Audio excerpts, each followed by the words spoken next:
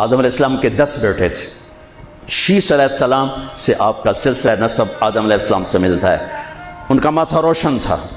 आदम इस्लाम कहने के बेटा, तेरी पुश्त में एक अमानत है, जो तेरे बाप से भी ज़्यादा कीमती वो कहने लगे, अब्बा, बेटा, बाप से ज़्यादा कीमती? वो कैसे? कहा, तू उस अमानत की बात करता है।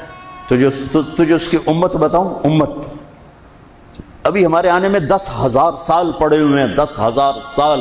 और आदम सलाम फरमा रहे हैं, बेटा, उस हस्ती को छोड़, उसकी उम्मत का बताऊँ? का जी बताओ। का मैंने एक खता की। मैंने एक खता की। मेरे कपड़े उतार दिए।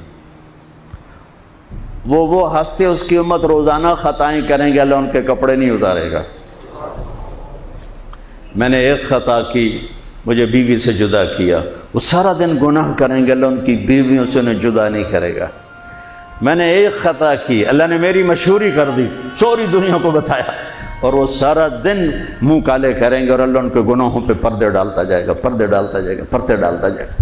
मैंने एक ख़ता की, मुझे जन्नत से निकाला। वो हज़ारों ख़ताएँ करके उसकी रहमत से बख्श बख्श। बख्शिश पा के जन्नत में जाएँगे।